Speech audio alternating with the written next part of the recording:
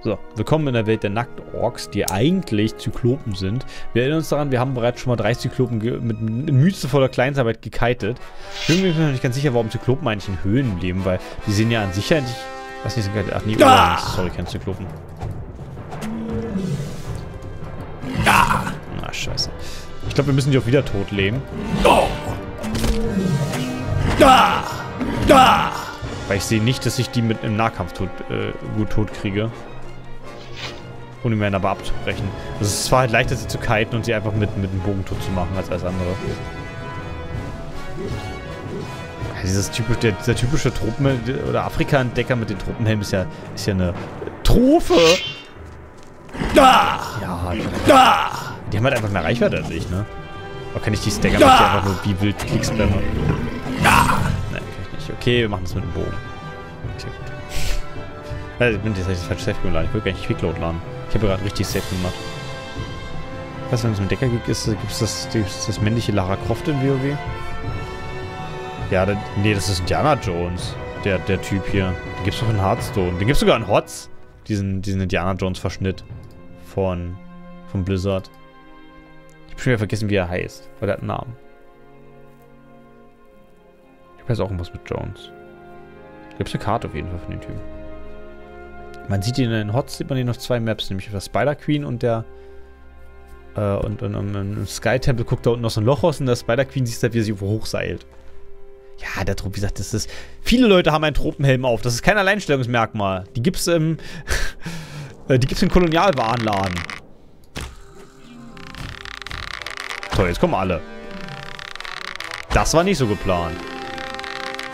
Ich glaube, seit meiner Eskapade in der Drachenhöhle bin ich nicht unbedingt besser geworden.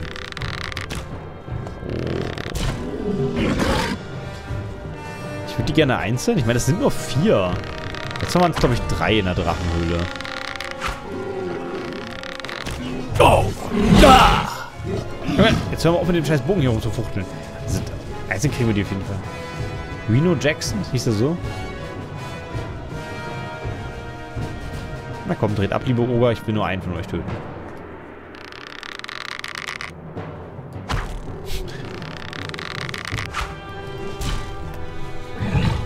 Es regt mich schon ein bisschen auf, dass er den Bogen so langsam wegpackt. Oh, Junge. Hast du eine, wie heißt du, Hino Jackson? Naja, in Hotz hat er gar keinen Namen. Oh, wer sind die denn? Warte mal, äh, lebt er noch? Ich würde aber gerne mit den Typen reden, aber ich möchte ihn jetzt ungern in den Kampf mit den, gegen die Oger mit reinziehen. Das könnte sich nämlich jetzt nicht gerade völlig für seine Gesundheit... Ach nee, das sind wirklich Wasserfälle. Das sind keine Glitsche durch die Welt. Das könnte sich nämlich negativ für seine Gesundheit ausweisen. Ist der, der der low ist? Hoch, meisterhaft der Schuss, oder?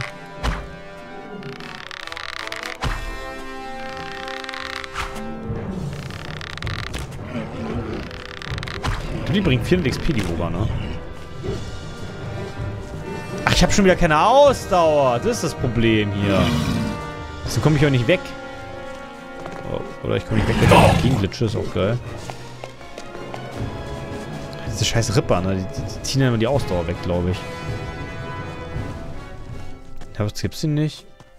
Wie heißt der? Es gibt den nicht namentlich, aber du siehst ihn auf der Map. Das ist dieser Typ, der in, in, in ich würde gerne diesen Trank trinken. Am besten bevor die Oger da sind. Okay. Äh, du siehst ihn auf Tomb of Sky äh, Spider Queen, siehst du, wie er sich hochseilt am Ende an so ein Seil hängt und in Sky Temple siehst du, wie, aus, wie auf der, auf der Botlane guckt er aus, aus so einer Klappe raus. Den kennst du, kennst du, kennst du, kennst du. Hast du bestimmt schon mal gesehen.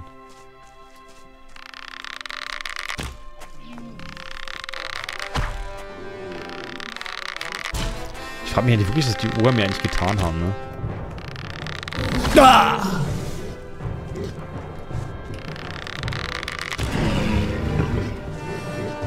Sind ja offensichtlich irgendwie fühlende und denkende Wesen, die Oger.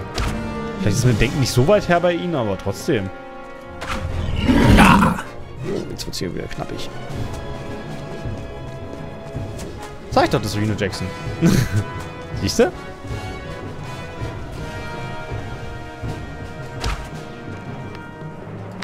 Guck mal, sein Kumpel hat abgedreht.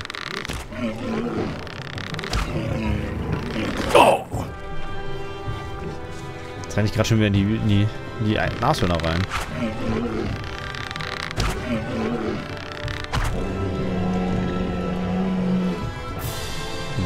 Ich würde übrigens wirklich gern die Oger einfach im Nahkampf tot kriegen, aber das, das ist halt einfach nicht darstellbar für mich. Wie sind die so langsam? Ah, die armen Oger.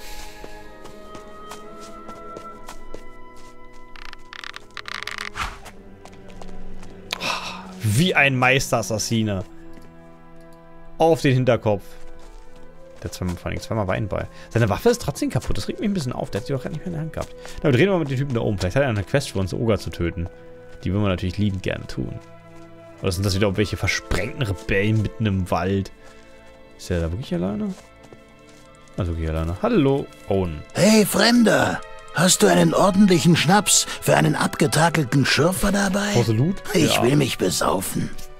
Äh, äh, ja, klar. Wer bist du? Ich bin ein heimatloser Schürfer. Mein Name ist Owen. Ich habe im Krieg alles verloren, was mir lieb und teuer war. Schnaps. Ich warte darauf, dass mich eine Ork-Patrouille einsammelt, um mich in die Minen zu schicken. Hier ist dein Schnaps. Hier ist eine Flasche Schnaps. Danke, Mann. Das ist genau das, was ich jetzt brauche. Was? Die Oger konkurrieren mit dir um deine Jagdbeute. Tut es dir bestimmt Spaß, die Oger um ihre Familie zu ernähren. Da ist ein Swiss Lass vorprogrammiert. mich in Ruhe. Was? Kann ich sein Bett schütten? Nee, ich kann nicht mal sein Bett benutzen. Achso, nee, dann muss ich mich jetzt echt hier wieder mit Fleisch hochheilen. Ah. Der ist schon auch für der Androide? Nee, der hat einfach nur die normale, also der hat die normale Standardkleidung an, halt, die halt jeder anhat. Ein paar Fetzen halt. Aber wahrscheinlich die normale Schurferkleidung, die kennen wir noch nicht. Also ich muss trotzdem jetzt da unten durch. Es ist übrigens noch nicht so richtig erwiesen, dass Oger überhaupt eine Familie haben. Aber generell wird sowas in Spielen eigentlich immer voll vernachlässigt, ne? Also. Gut, das ist in. in ich habe gerade wieder an Goblin Slayer gedacht, aber gut, da, da ist. Äh, haben die Goblins ihre eigene Art, sich äh, äh, zu vermehren. Die irgendwie weibliche Wesen komplett nicht beinhaltet. Aber ich meine, die Oger müssten ja eigentlich auch irgendwie was haben. Aber du siehst halt nur die Typen. Und wir haben. Ich habe ja schon in der, anderen Höhle habe ich ja schon die kompletten, also in der Skeletthöhle. Quatsch, Skeletthöhle, in der Drachenhöhle. Habe ich ja alle Oger getötet, ne? Und da war nichts mehr. Und das ist ja wohl eher unwahrscheinlich, dass die da alle alleine sind. Jetzt ich schon wieder zwei Oger an den Hacken.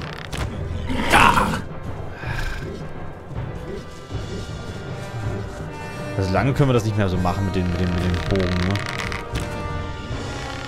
Scheiße, wir noch ein bisschen warten. Aber eigentlich ist es egal, ob ich zwei Uhr hinter mir herrennen habe oder einen. Mit dem zusätzlichen Vorteil, dass ich den gerade im Fuß geschossen habe aus Versehen, weil ich den anderen verfehlt habe.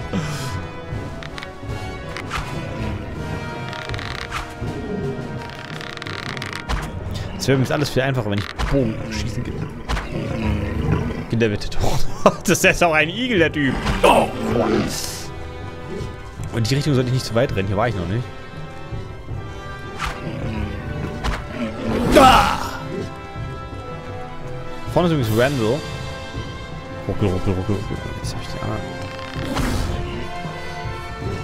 Und das ist immer noch nicht akut. Das ist super. Jawohl. Nein, jetzt kommt der andere. Nein, hau ab. Ich habe eigentlich gerade ja keine Zeit für dich. Bist du auch ein abgehalfterter Schürfer, ist der Randall? Wahrscheinlich ist da eigentlich das der Ort, wo ich hin will. Die, die Rebellensiedlung Okara übrigens. So, ich hoffe übrigens, da hinten kommt nicht noch... Na, okay, das war nicht. Also mit Vorhalten habe ich es anscheinend nicht so. Mit einem echten Bogen vorzuhalten, stelle ich mir übel schwer vor. Weil dafür müsstest du ja irgendwie sicher erstmal schießen können, ne?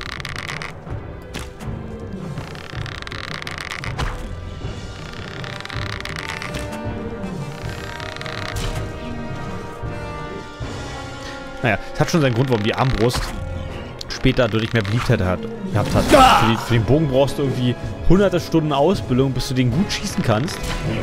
Und damit auch tatsächlich konsistent was triffst. Jetzt mach hier keinen Scheiß. Bernie, zusammen, reiß dich zusammen.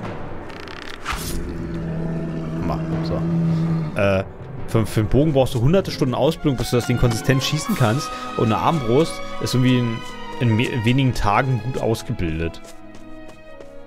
Bist du pro Ork oder pro Mensch in diesem Durchlauf? Ich habe mich, ne, also, okay, doch, ich habe mich schon entschieden. Ich bin natürlich pro Mensch. Aber ich warte eigentlich immer noch, also ich habe bis jetzt noch keine Revolution, also ich war schon in Kapdun. Da hätte ich jetzt schon die Revolution starten können. Aber habe ich noch nicht.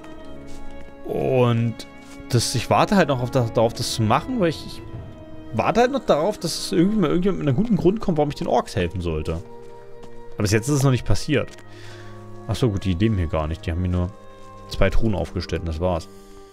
Also, wie gesagt, ich warte darauf, dass mir irgendjemand jetzt erklärt, dass, naja, das ist den Orks unterstützen, ist natürlich voll sinnvoll, weil bis jetzt haben wir den einen Typen von den von, von den Orks-Söldnern gehabt, der hat so einen semi-guten Grund vorgebracht, mit das, naja, die Orks sind, das sind die besseren Herrscher, bla bla bla. Aber so richtig überzeugend war das nicht, was die Orks zu den Menschen antun. Das ist jetzt halt auch nicht unbedingt so, das, das spricht nicht für die, sag ich mal. Insofern weiß ich nicht so recht, was ich jetzt von den Orks halten soll. Also bis jetzt spricht eigentlich alles für die menschliche Revolution. Klar, der König ist bestimmt kacke. Aber ich nehme mal stark an, dass das... Also wenn die Revolution dann kommt und die Orks besiegt sind und Zardas besiegt, auch besiegt ist, ist natürlich noch die große Frage, ob das, dann nicht, das Land dann nicht leicht darauf in einen Bürgerkrieg versinkt. Weil der wer auch immer Anführer der Rebellen vielleicht nicht unbedingt königstreu ist, ne? Weil die Paladine, was ja die königstreuesten sind, der, die sind ja anscheinend ziemlich ausgelöscht. Von denen gibt es nicht mehr so viele zumindest. Nicht von dem ich weiß. Weil die große Paladin-Hochburg Gotha... Oh, Schattenbestien. Wow. Äh, die große Paladin-Hochburg Gotha wurde ja niedergerungen. Das heißt, es gibt noch so drei, vier wenige Paladine. Da würde ich mal vermuten, dass es durchaus nach dem Krieg sein könnte. Ach stimmt, das habe ich ja letztes Mal schon, schon gerafft, dass wenn ich in, im Schleichen loote, dass es viel schneller geht. Paradoxerweise übrigens.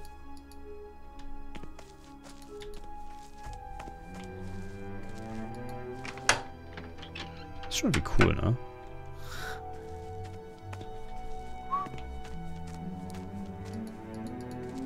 Obwohl ich mittlerweile ja weiß, dass ich eine Schattenbestie easy tot kriege.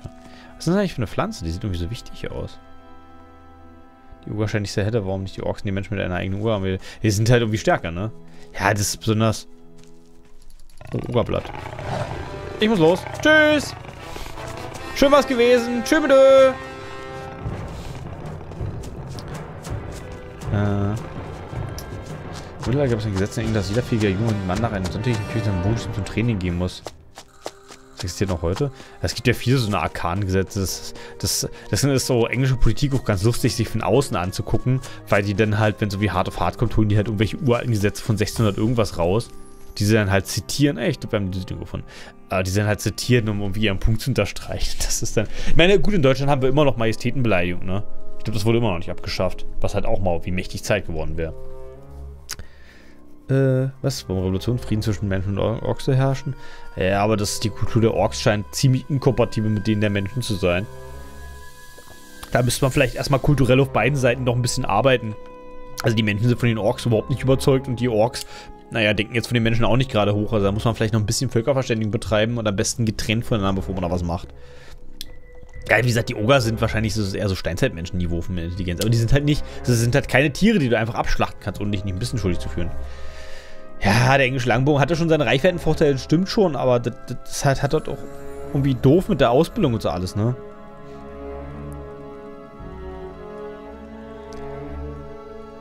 Ja, aber das ist das Problem so ein scheiß Langbogen ist halt, wie gesagt, wie gesagt, du musst halt ewig ausbilden. Es ist ja nicht so, dass du mit so einem Bogen jetzt tatsächlich Präzisionsschüsse machst, also kannst du schon machen, aber ich glaube, das ist das große Prinzip ja, du hast, also ich stelle mir das halt immer vor, hast halt deine Bogenschützen alle auf der Mauer, steht so wie ein Stronghold, also die stehen alle auf der Mauer und machen einmal rüber.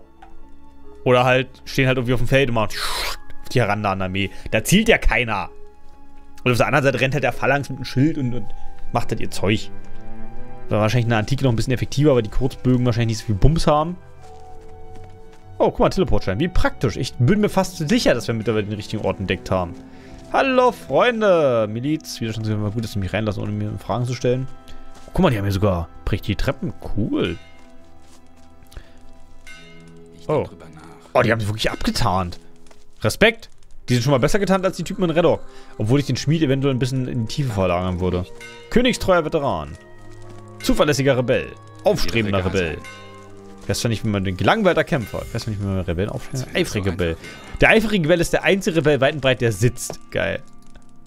Du solltest meinen Rat annehmen. Ich muss immer ein bisschen Essen klauen, weil das brauche ich vielleicht noch. Die, das 3% Essen, das kann, kann nicht verkehrt sein.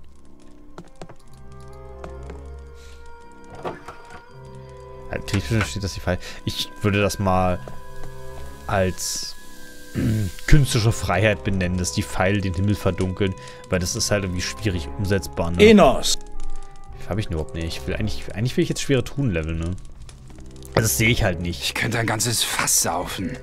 Zweitliche Schmied, Mannig. Ein neues Gesicht. Willkommen in Okara. Wir können hier jeden Mann gebrauchen. Ja, moin, grüß dich. Ähm, ja, ist Schmied Du anscheinend. bist Schmied? Schmied, Koch, Schürfer und was weiß ich noch alles. Je weniger Männer wir werden, desto mehr Aufgaben muss ich übernehmen. Er ist Schürfer. Draußen stand doch ein Schürfer rum. Ihr braucht noch Leute?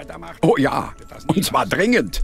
Unser Anführer Roland hat in der letzten Zeit alles verheizt, was wir noch an Reserven hatten. Ein Wir können hier jeden gebrauchen.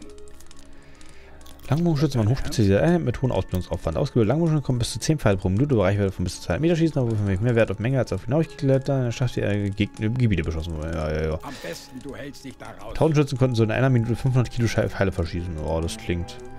Bildung von Wikipedia. Ja, aber das, das Problem ist halt, hochspezialisierte Einheit.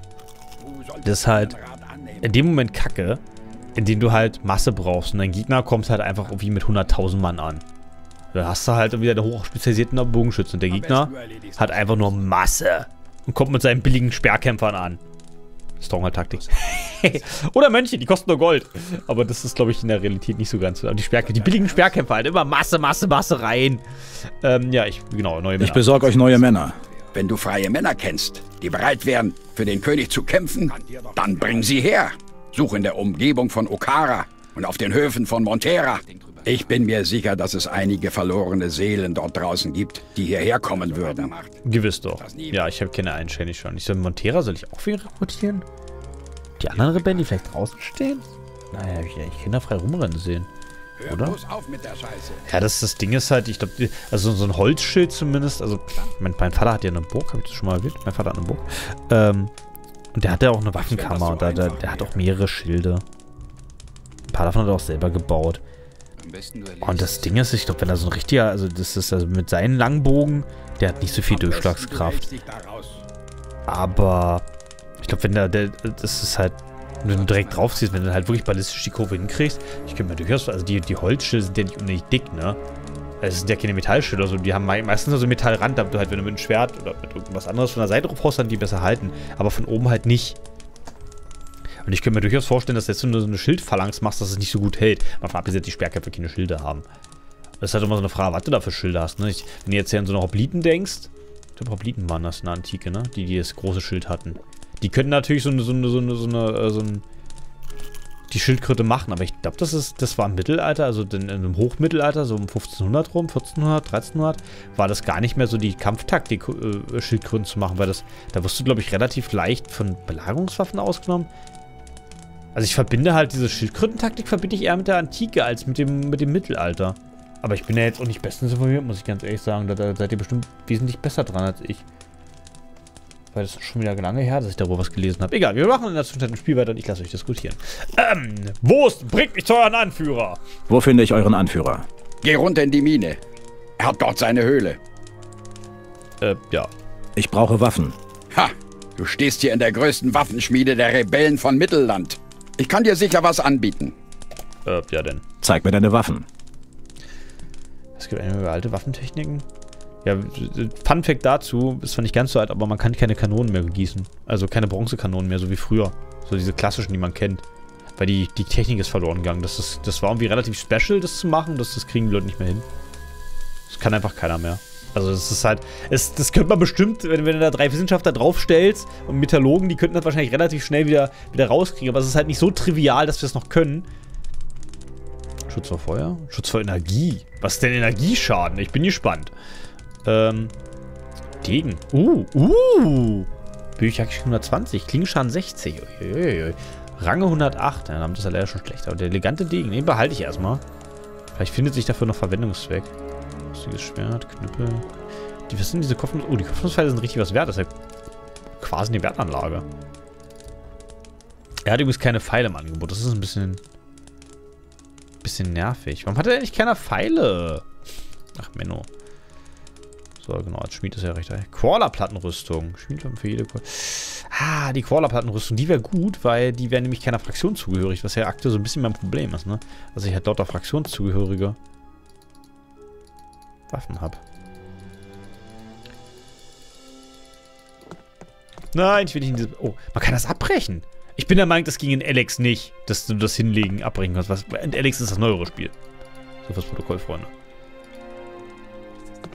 So, gucken wir uns noch diese Quicksave.